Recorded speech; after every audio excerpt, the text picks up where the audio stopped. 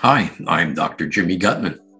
There are so many different kinds of studies done in science and medicine, and all of them have their different uses. More importantly, their relevance.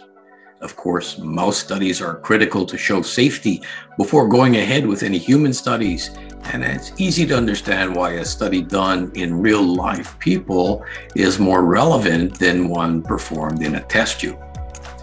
I can't stress strongly enough that the most important studies, and in fact, the only kind of studies that allow anyone to make a clinical claim, are human studies.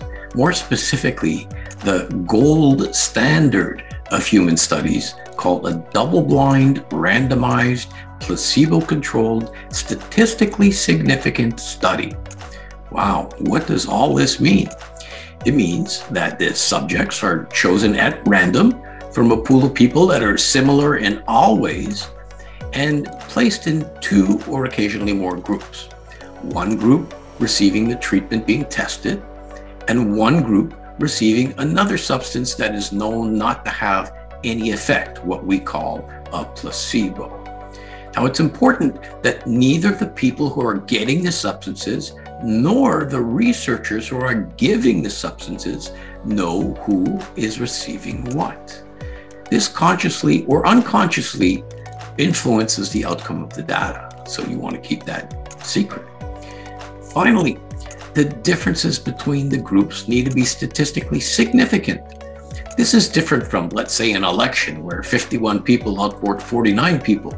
In statistical science, the difference between 51 and 49 is not a convincing enough answer. And we have mathematical tools that tell us what numbers are actually statistically different in a meaningful way. I'll tell you what else is significantly different the amount of gold standard studies done on Immunocal compared to the amount that you're going to find for other natural products in the direct sales industry. There's no comparison, and this is what sets our research apart. The health